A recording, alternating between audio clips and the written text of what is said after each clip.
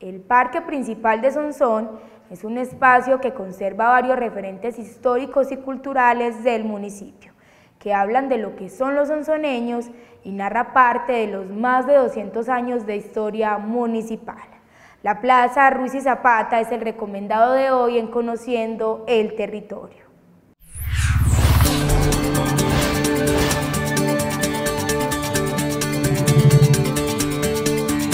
La plaza principal de Sonsón alberga el centro histórico del municipio. No obstante, también posee el centro del comercio, religioso y hasta político, un espacio que habla mucho de lo que fue y es Sonsón. Que acá eh, nace como tal o se crea eh, a principios de 1800 todo el desarrollo del municipio de Sonsón se determinaron o se entregaron los solares para las familias, pero también para cada uno de los espacios que tenemos en este momento, como nuestra catedral, que siempre ha estado en ese mismo punto, digamos, con diferentes eh, elementos, por ejemplo, antes construido bajo paja, eh, y pues ahí, por ejemplo, estuvo nuestra catedral de granito, que fue incluso la más bonita en Latinoamérica y que por un sismo, eh, digamos, también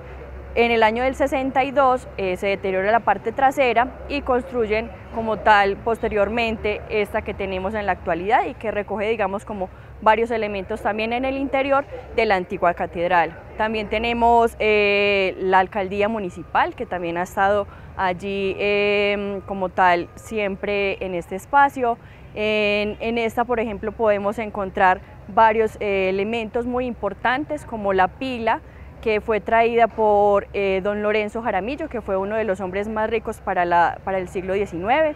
Y esa pila eh, se encontraba acá, donde está el Simón Bolívar. Entonces, digamos que fue traída desde Francia,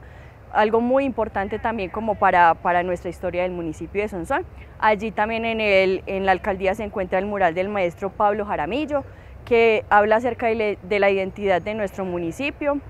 y de todo, digamos, eh, de todo ese trasegar a través de, la historia en, en Sonsón. Otro de los atractivos del parque principal son los árboles que allí están, ya que un importante número fueron plantados por el reconocido botánico Joaquín Antonio Uribe. Para resaltar también es la secuoya, que es un ejemplar muy importante para, para, la identidad del municipio y que es uno de los organismos más longevos del mundo, ¿cierto? Eh, logran llegar hasta los 3.000 años eh, de edad. Entonces,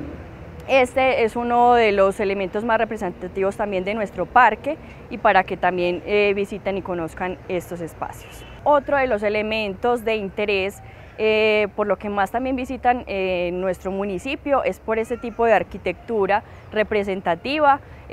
nuestro balcón más lindo de Antioquia que fue digamos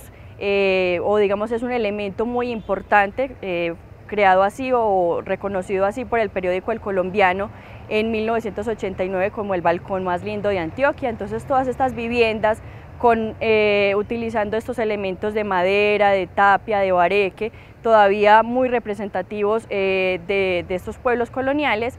y hacen que son, son, digamos, se preserve o se conserve todavía en el tiempo. El uso también de los colores, colores no tan vivos o colores neutros, como los verdes, como el azul, hacen que también son, son sea muy sobrio, pero también muy llamativo para, para el turismo. El parque principal de Sonsón tiene características únicas en el oriente antioqueño, por ejemplo su amplitud, construcciones y armonía, lo hacen diferente a parques de otras localidades, un espacio obligado a conocer. Muy invitados para que conozcan el parque principal Ruiz y Zapata, Digamos que acá convergen un sinnúmero también de historias en sus monumentos, eh, en su iglesia, en cada una de estas casas que también preservan y conservan toda la historia de nuestro municipio. Entonces es un llamado también a los mismos locales que cuidemos tanto este espacio como todos los espacios pues, de nuestro municipio y a los, a, los turistas que conozcan, eh, pues por ejemplo, nuestra secuoya, que es un emblema y que eh, solamente en parque se tiene registrado